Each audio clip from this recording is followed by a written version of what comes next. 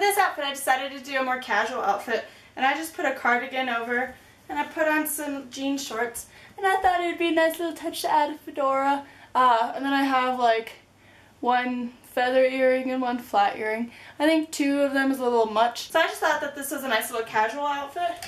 I don't know, it's relaxed. And then for the shoe, I thought to go again with something flat. And I just put on these little sneakers that I got for like $10.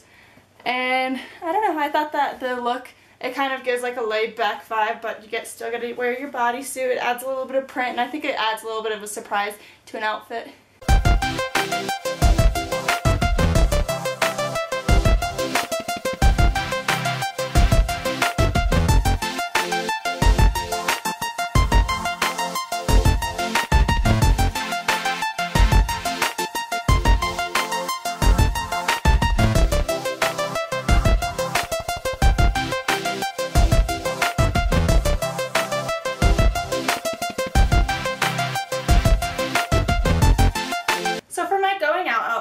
Did the bodysuit, of course, and then I just got this really long skirt.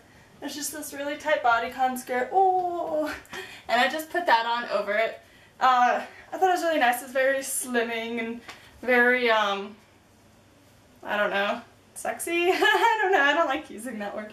Um, but yeah, I just thought that putting the bodysuit was like a nice, the bodysuit con dress thing on top of my, or over my bodysuit was very, would be a cute outfit. And then with that, the shoes that I decided to wear were my guest shoe, guest, not guest, guest shoes. And here they are.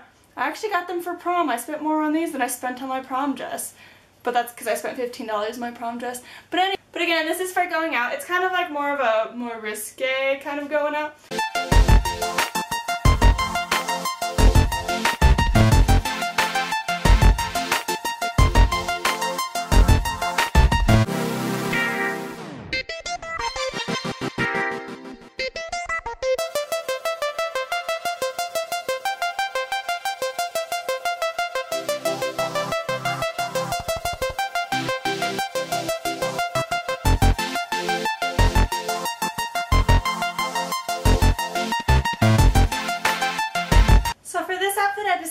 Just wear the bodysuit, of course, but then I just put on a nice pair of jeans.